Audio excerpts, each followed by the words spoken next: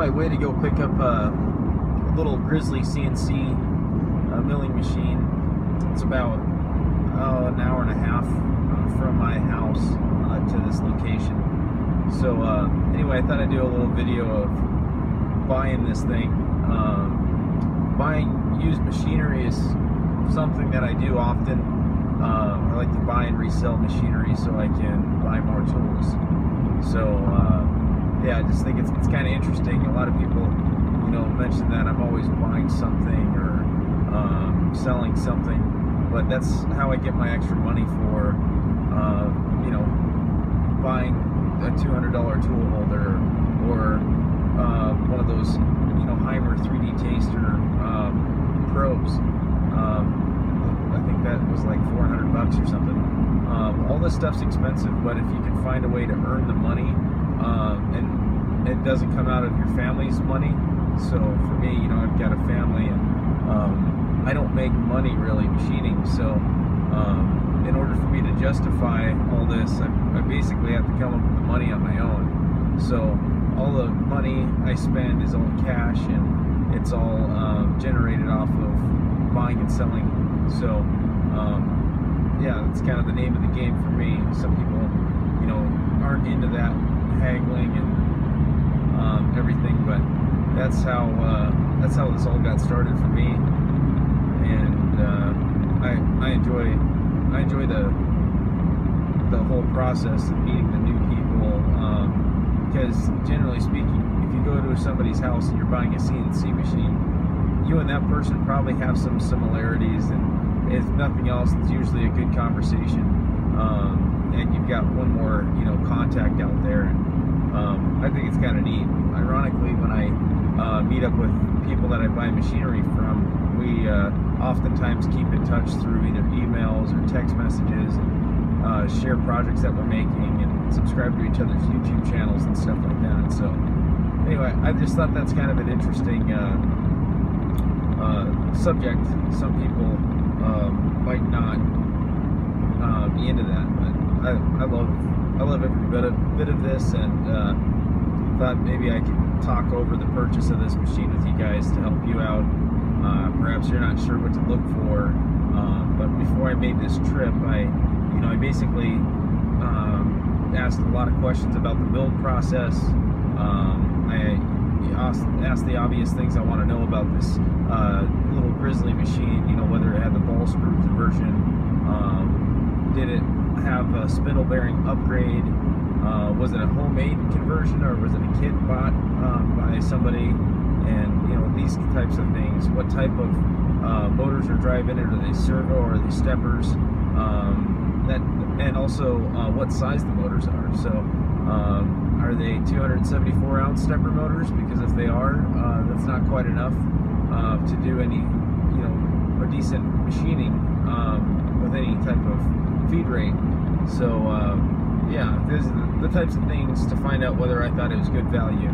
Then I negotiated the price down before I even showed up. So I'm not meeting this guy face to face, and you got that awkward time where you're like, okay, I know you're asking for a thousand, but can I get it for a thousand bucks?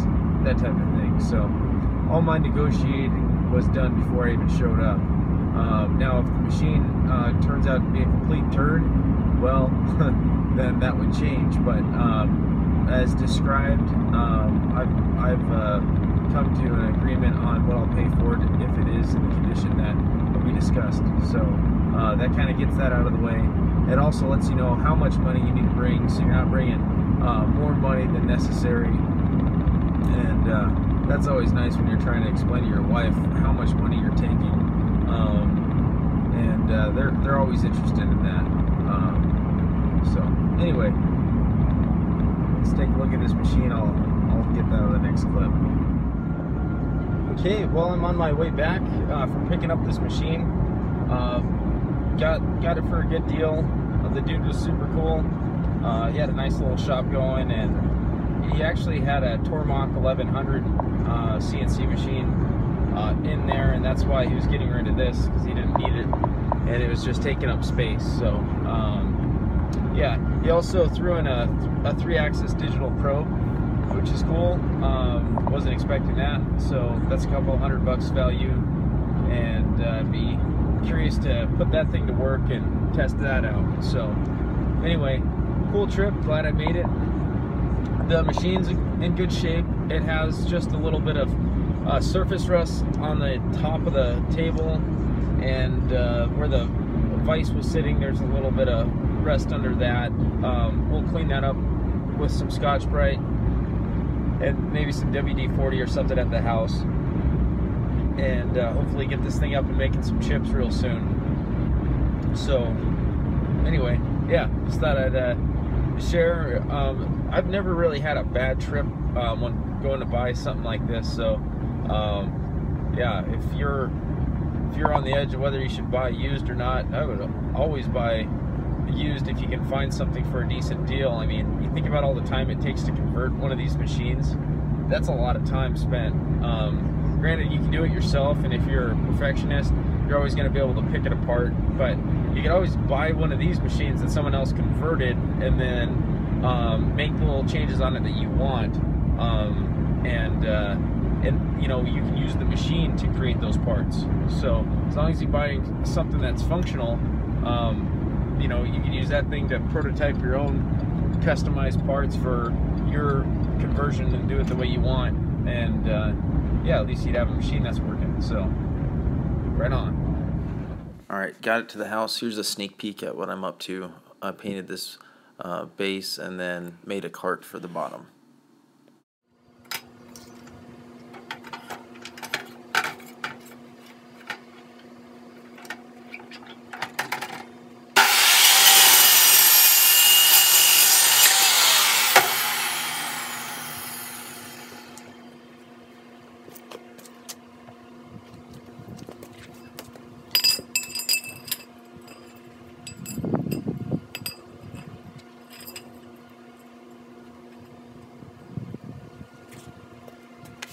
Well, I've got most of this uh, base finished. Notice that the uh, wheels are a little bit recessed so they don't stand off the ground so much. And then they, uh, they have just enough clearance to get past these standoffs.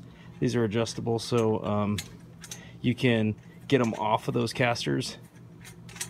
And then, uh, yeah. So I just tacked a nut onto a piece of one inch tubing and yeah, you'll see what's up once I put this together. Okay, so I've got these um, these 3 8 bolts here welded um, on the bottom here, so all you have to do is take the stand and set it on top. I also have these standoffs down enough to where the wheels are slightly off the ground, um, but I guess for now, I can bring them, nah, whatever. So I'll show you how easy it's going to be to get this thing lined up.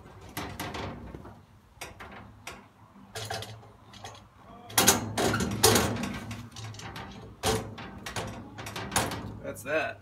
And then simply put your uh, washers on there and your nuts and you're set.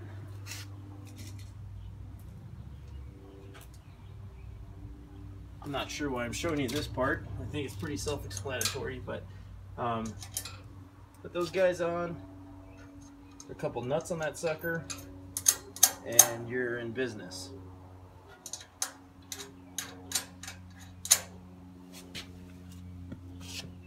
Yeah, I like this. Um, the stance is going to be more stable.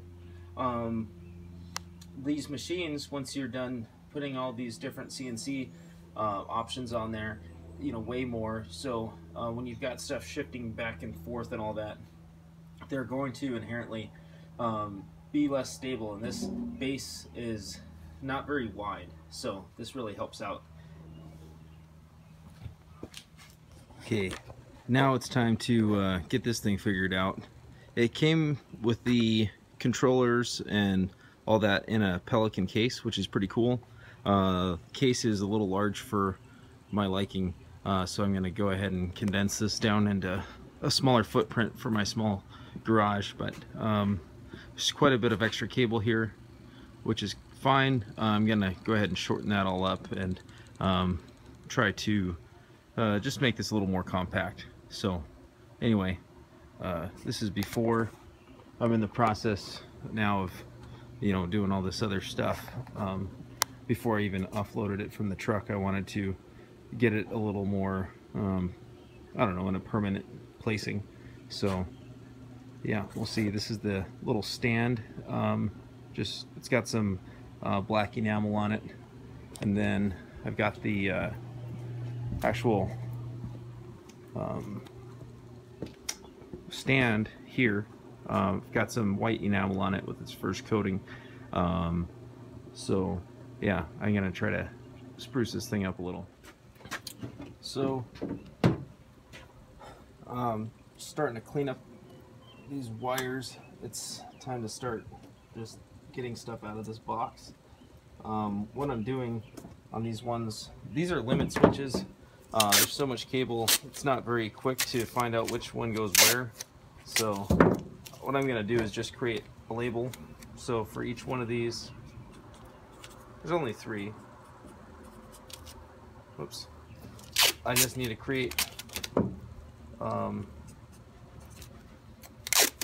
a label corresponding to that number so that when I go to put it back together,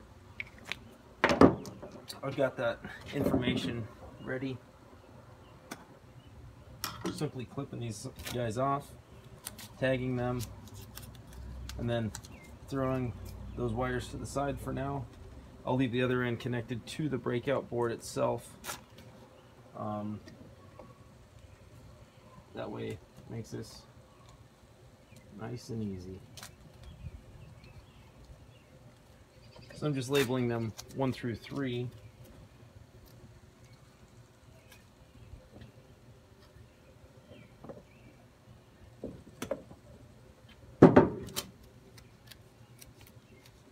Probably a better way to do this, but this is how I'm doing it. Basically, I want to get this damn box disconnected so I can separate this thing from the milling machine because as it sits right now, I can't unload it individually. It's connected to this. Um, good. Now I'm down to just bare bones of the milling machine. Did come with a, a flood coolant tank and pump, which is pretty cool. Um, not sure if I'm going to use that or just go straight into using one of those fog busters, but um, we'll see. Thanks for watching. Stay tuned for the other modifications to bring this thing into uh, nice shape.